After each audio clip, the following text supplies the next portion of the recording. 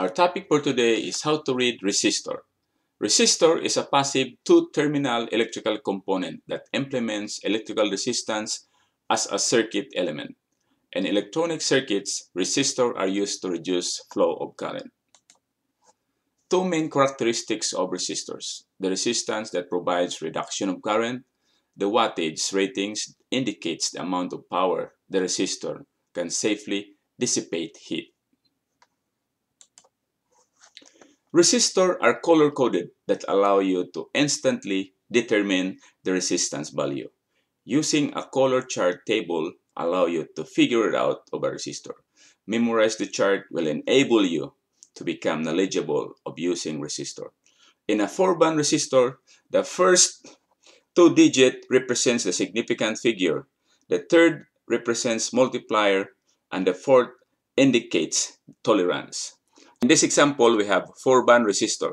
The first band is green, 5, I write here 5. The second band is blue, 6. The third band, which is multiplier, is red, this which is 100. That's why I write here 200. And the fourth band is tolerance, which is gold, 5% here.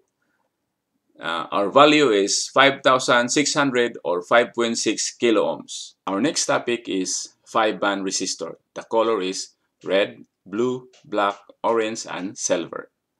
For red, 2. And that's why I write here 2.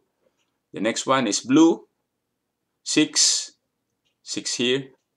The next one is black, 0, 0.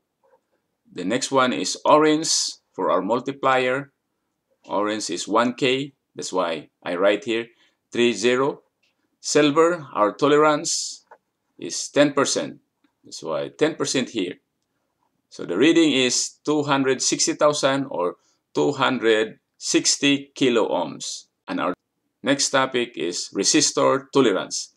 If a resistor has a nominal value of 10,000 ohms and a tolerance of plus minus 10%, then individual resistor with the same nominal value are allowed to vary in their actual values from 9,000 to 11,000 ohms and still be considered acceptable.